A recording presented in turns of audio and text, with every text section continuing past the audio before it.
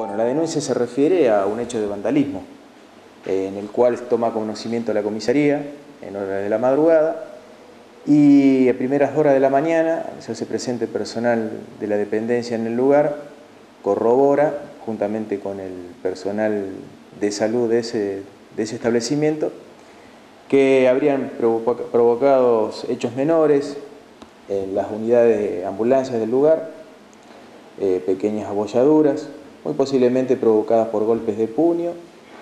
Y bueno, eh, ya se tomaron algunas declaraciones, se le dio cuenta a la Fiscalía de Flagrancia en turno, así que es todo tarea de, es todo materia de investigación. Sí hay una presunción de que pueden ser unos jóvenes que no serían oriundos de acá de la localidad. Eh, ¿A qué hora habría sido el hecho? ¿A qué hora, o si alguien escuchó ruido dentro del santo? Y se presume aproximadamente 2, 3 de la mañana. Muy... Eh, por las primeras hipótesis es que el personal cuando, cuando acude a ese llamado no observa alguna normalidad.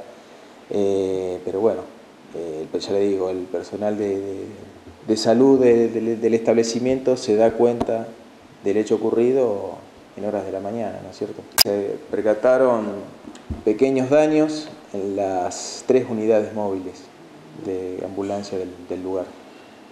¿Y contra la propiedad? ¿Nadie intentó ingresar al hospital? No, no, no, no, no, no, eso no, no. Por suerte eso no. Simplemente actos de vandalismo hacia, más específicamente al lugar de, estacionamiento de las ambulancias. Y sobre todo, primero preocupa por, eh, por las situaciones sociales y políticas que, se viven hoy en día. Y todos estos hechos menores eh, van recrudeciendo otros hechos que con el tiempo, si no se toman las previsiones y las precauciones y la prevención necesaria, eh, van tomando mayores magnitud. Entonces son preocupantes. Y para nosotros también es preocupante y bueno, haremos un poco más de énfasis en patrullaje nocturno. Eh, esto ya, ya, tomó conocimiento, por supuesto, la, la, superioridad. Así que vamos a hacer un poco más de hincapié en el patrullaje nocturno y un poco más de control también.